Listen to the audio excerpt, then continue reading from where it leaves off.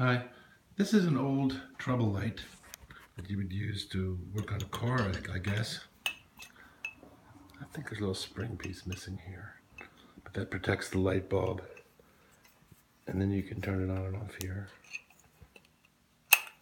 It's actually, a, it says Gecko on it, which is the old way of doing the General Electric company before they had their round emblem. And this is the fitting that would go up into the ceiling. So you would screw this up into the ceiling and hook the power wires up to it and run the power wires along the wall. And it's it's set up so that you can so you can remove it pretty easily. So, so it makes it easy to put up and down. Just kind of goes on, tighten some screws. And you can see inside, you can see there's some extra terminal boards there. They have it wired so that the wire just goes straight to the power terminals.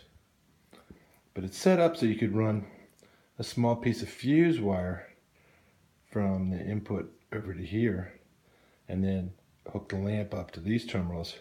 So you'd have a piece of fuse wire here, a piece of fuse wire here. So if you had any short, that little piece of wire would just vaporize and not cause you other problems. And um, I can't tell how old it is. Usually you can tell by looking at the, you can tell some things by looking at the wording on the uh, socket, but the patina is very heavy and I can't see any wording. Even though the patina this heavy, I think it's probably like pre 1910. I, just don't know that for a fact. And um, one of the other odd things about this, or unusual things,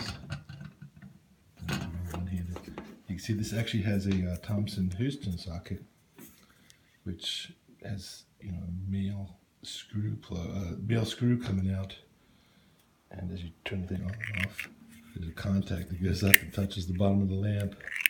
That's how we did it.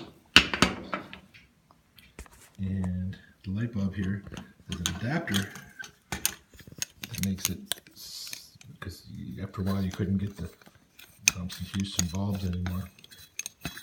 So it has an adapter that they used. So you could use standard Edison type bulbs.